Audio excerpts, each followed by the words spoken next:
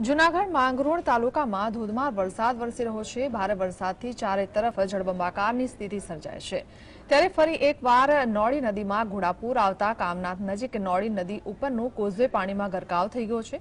Causeway ઉપર પાણી ફરી વળતા સામાકાંઠાના ગામો જેમાં સરકાણા, વીરપુર, લંબોરા, શેખપુર સહિતના ગામોનો તાલુકા મથક સાથેથી સંપર્ક તૂટ્યો છે.